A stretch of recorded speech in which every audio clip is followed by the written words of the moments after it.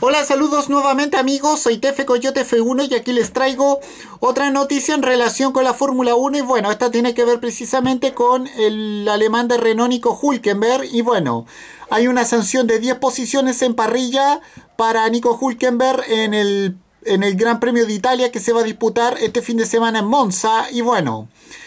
Eh, como sabemos, eh, el piloto alemán eh, recibió una penalización por causar el accidente múltiple de la primera curva en el circuito de Spa-Francorchamps, donde se disputó recientemente el Gran Premio de Bélgica.